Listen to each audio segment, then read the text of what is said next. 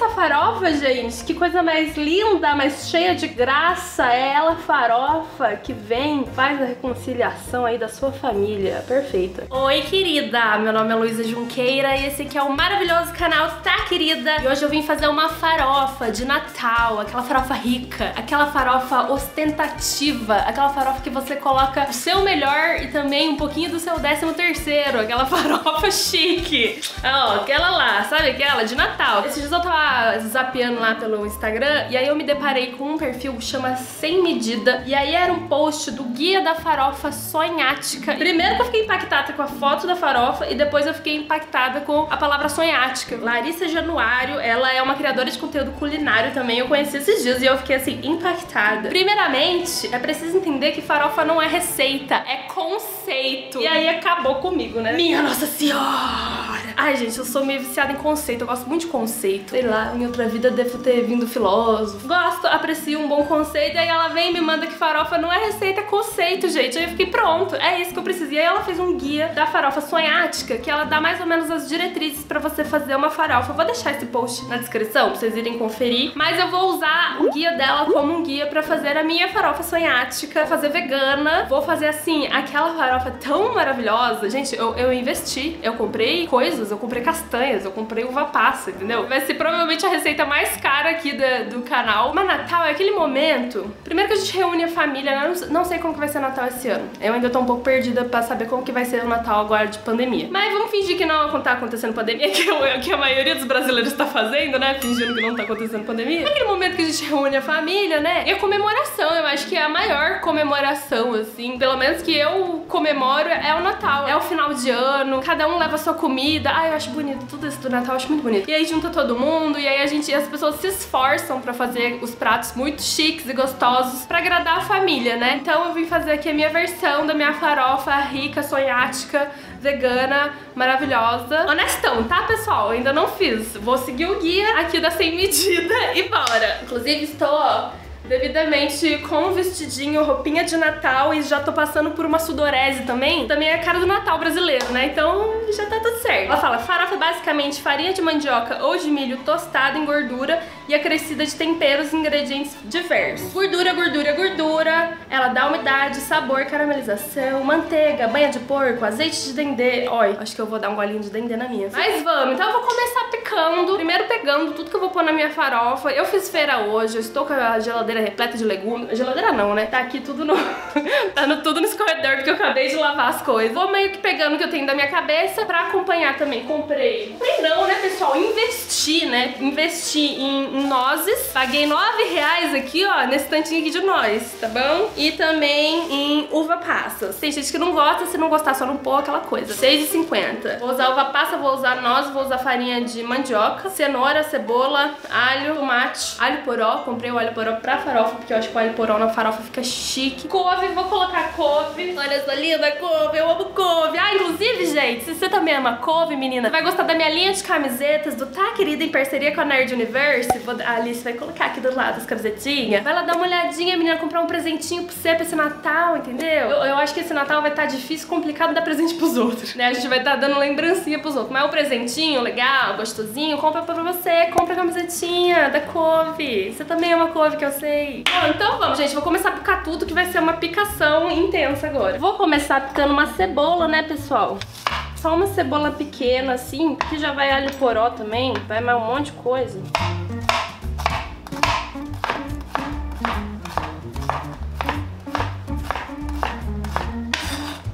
Aí eu vou colocar também dois dentões de alho.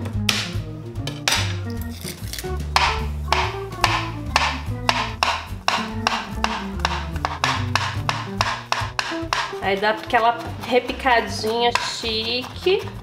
Olha que gracinha esse alho poró, gente. Bonitinho, né? Tá parecendo até uma árvore de Natal. Olha! Tem tomatinho cereja, mas imagina se eu tivesse uns tomatinhos cereja pra fazer a bolinha. Eu vou cortar esse pedaço das folhas. Vou usar só as folhas. Folha tem que ficar esperta geralmente às vezes vem um pouco de terra aqui nessas partes. Mas terra não faz mal pra ninguém não, viu gente? Não é muito bom ficar comendo terra. A gente é terráqueo, tá? Então o povo acha que terra é sujeira. Terra não é sujeira, pelo amor de Deus. Terra da vida, né? É isso, vou tentar dar o meu melhor aqui e fazer pequenininho.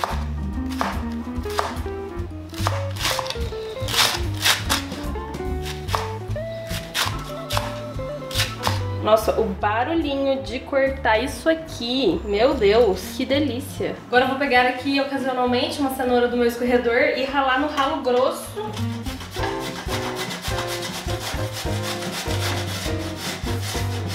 cenoura tá o puro creme da cenoura, meu Deus. Antes de terminar de picar tudo, eu lembrei de uma farofa que a mãe da Irina Cordeiro faz, a dona Cássia, que é uma farofinha que ela pega a cenoura e frita até a cenoura ficar, tipo, pretinha. Fica parecendo uma carne seca. Eu acho que eu vou fazer isso, então já vou deixar essa cenoura dando uma fritada enquanto eu termino de picar as coisas. E aí já vai dar aquela carinha de carne seca. Gente, ai, nossa, a farofa acabou de elevar um nível. Nossa, velho, vai ficar muito boa essa farofa, pelo amor de Deus. Então eu vou pegar uma frigideira grande, colocar na melhor do fogão. E aí, pessoal, eu não vou usar manteiga, eu vou usar azeite. Mas como a gente tá falando de farofa, a gente não vai usar fiozinho de azeite, por favor. Farofa, assim, né? Gordura, gordura, gordura. Você viu lá que a Sem Medida falou no post dela. Então, assim, dá aquela forrada de azeite. E essa farofa, ela é cara, né? Farofa chique, farofa ostentação isso aqui. Tem miserê aqui, ó. Na manhã seguinte. É bom demais. Eu acho que tem azeite suficiente. Já vou pôr a cenoura aqui pra ela ir fritando. Vou deixar fogo médio, né? Que a gente já não sabe direito, põe fogo médio. Vou usar duas folhinhas de couve. Vou colocar só no final pra, pra elas não sumirem. E aí vou picar... Nossa, por que, que eu fiz isso? Que desrespeito que eu fiz aqui com a couve, gente. Vou picar fininho, tipo,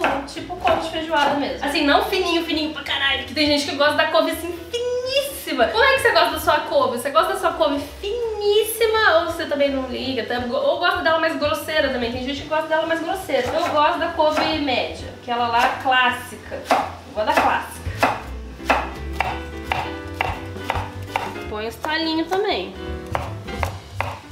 Aí, ó, vou dar uma repicadinha aqui. Aí essa cenourinha tem que ficar esperto. No começo ela dá uma murchada assim, e aí fica mexendo, vez ou outra vem mexe. Que a ideia é ela secar, ficar assim, tostadinha. Deixa aqui, já já vem dar outra mexidinha. Dá um joinha nesse vídeo pra mim, faz esse favorzão, porque ajuda aí meu trabalho a chegar a mais gente. Então dá um joinha pra mim. Vou pegar também um pimentãozinho vermelho esse aqui tá parecendo eu em 2020, olha. Todo amassado, coitado.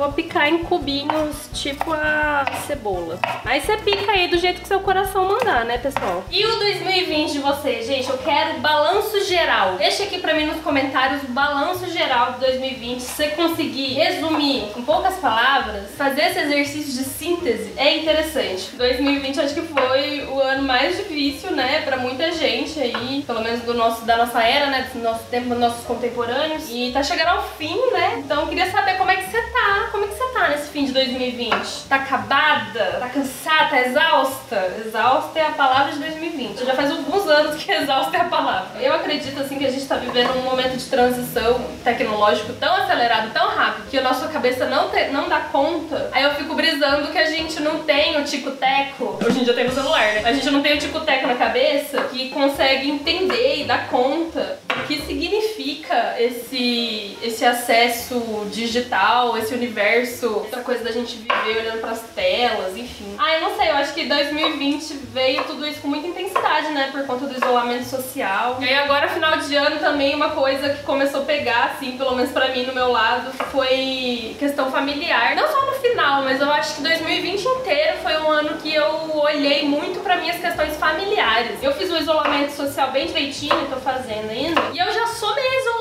viu, gente? Eu sou mais na minha, eu sou quietona e tal. Eu, assim, tenho meus momentos super sociável, mas eu tenho meus momentos quietinha. E como esse ano tava demandando isolamento social, eu já tenho facilidade em me isolar socialmente, fiquei bem isolada mesmo. E aí acabou que o meu contato principal foi com a minha família, assim, se aproximando bastante, pra curar um monte de coisa também. Porque eu não sei como que é pra vocês, assim, mas eu tenho uma relação muito boa com a minha família, mas nem por isso não significa que a gente não tenha coisa pra curar, sabe? Sempre tem. Geração dos nossos pais não fizeram terapia e até hoje não fazem. Tem muita coisa pra curar, conflito político, ideológico. Isso aí, pra mim, aflora uns BOzinho que estão muito mais fundo, no inconsciente, aquelas coisas que estão tudo pra debaixo do tapete. E aí esses assuntos assim inflamam essas feridas que estão meio mal curadas. E aí rolam umas explosões. Mas ao mesmo tempo foi um momento que a família de muita gente ficou em risco, né? Os idosos da família era um grupo de risco. Meus pais já são idosos. E, gente, mil tretas. Mas para mim foi um ano bem de de realmente tentar curar, que eu consigo curar relação familiar. De olhar para dentro pra caramba, assim. Também, assim, eu tô há um mês de completar 29 anos, então meu retorno de Saturno, assim, tá vindo com intensidade. Eu achei que eu passei dois anos confusa, meio perdida na vida, mas assim, eu sigo confusa, meio perdida na vida. Eu, pera que eu vou olhar para a fim aqui. Aí é isso, né, pessoal? Uma grande confusão aí. E agora é o retorno de Saturno. Mas simbora, né, galera? Simbora, porque simbora fazendo. Ó como tá ficando é, a cenourinha. Vendo que algumas já ficaram pretinhas já. Agora eu vou ficar de olho aqui, eu vou parar de picar as coisas, vou deixar pra picar só depois o que sobrou, pra não correr o risco de queimar isso aqui. Eu cheguei na conclusão do meu 2020. O meu 2020 foi um ano inflamado, me senti inflamada mesmo, em vários sentidos. Tanto meu corpo, tive sintomas somatizados no corpo, mas que eu acho que serviu pra eu aprender a desinflamar também, sabe? Eu tô aprendendo a desinflamar minhas inflamações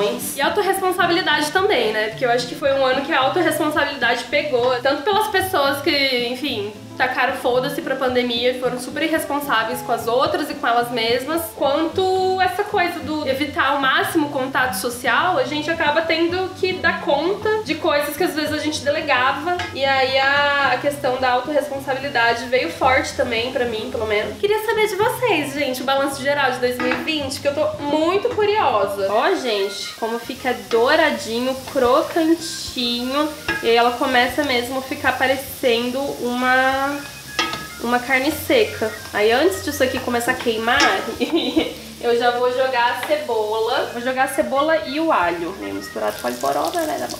Ai, olha que bonito. E a cenoura já solta uma corzinha no óleo também já fica mais amarelinho. Aí deixar rolar aqui essa amizade. Eu vou dar um glurpzinho de nada, de azeite de dendê. Aí ficou aqui nem dois minutinhos, já vou colocar o alho poró. Olha que eu cortei mal cortado. Quando você for fazer pra sua família, você corta bem bonitinho, tá, gente? Aí eu vou colocar um salzinho aqui pra ajudando e dourando tudo isso aqui.